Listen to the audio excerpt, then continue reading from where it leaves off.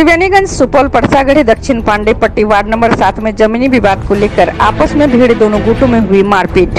पांडे पट्टी ward number सात में जमीनी विवाद को लेकर मारपीट के क्रम में दोनों पक्षों के करीब दर्जनों घायल त्रिवेणीगंज रेफरल अस्पताल में चल रहा है इलाज।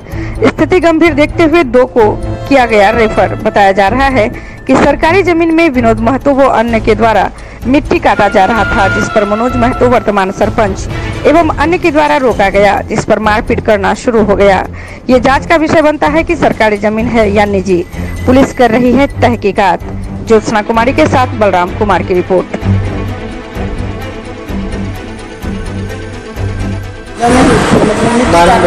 हाँ? मिट्टी काटने का। ज़मीन मिट्टी काट था। क्या काट रहा था? जल जल जल हो रहा।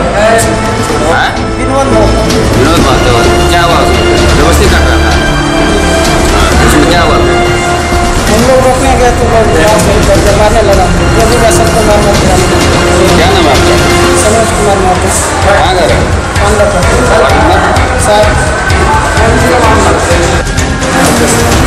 चौबीस नंबर कहाँ नंबर क्या मामला था ज़मीन से मिट्टी काटता वही क्या काट रहा था? और कौन काट रहा था? अच्छा तो आप रोकने गए? जब हम गए थे रोकने के लिए। हाँ तब फिर क्या हुआ? तो वही फिर उसी पे वो माना नहीं वो बोला हम काटेंगे मिट्टी। क्या चीज़ से मारा? सर पे तो लाठी से मारा था यहाँ दरिया चला गया था। दबिया भी चलाया था। ये जो घायल है ना पहले कैमरे हम जान देखेंगे तो भूल गया हम क्या नाम है नाम नहीं है मान लीजिए ये तो कहाँ का है ये तो दस का है मारने पड़ती है कुछ इस तरह से। कितने घायल है लगभग?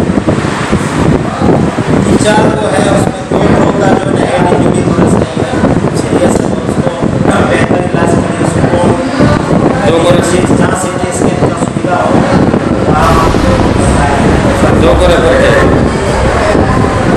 दो को एगो को किए हैं एगो को काटने उसका केस किया उसका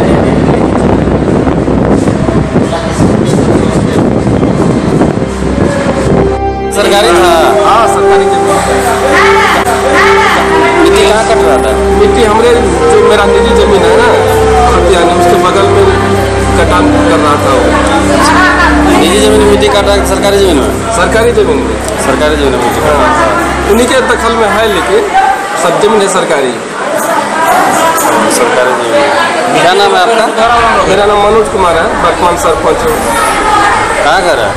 Pandepatti ward number? सात। किसके द्वारा मिट्टी काटा जा- काटा जा रहा था सरकारी ज़मीन में?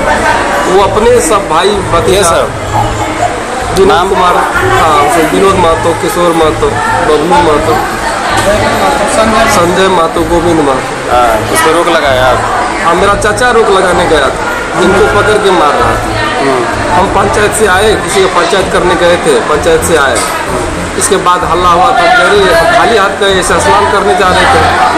हम उनको समझौता करें तो काहे लड़क करा तुम लोग उससे कहा हमारे सर पर ही मार दिया मतलब।